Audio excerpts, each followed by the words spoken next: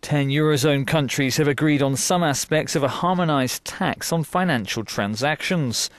They want to finalise a deal by the middle of next year on remaining issues, including tax rates. The countries include Germany, France, Italy, Belgium, and Greece. Also on board, Portugal, Slovakia, Slovenia, Spain, and Austria. Austria's finance minister said, what has not been decided yet is to actually implement the tax unless the open questions are solved.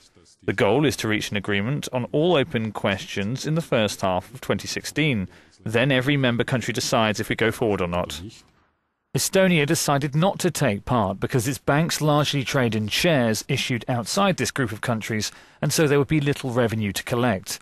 A 2013 European Commission proposal suggested a 0.1% levy on share and bond trades and 0.01% on derivatives.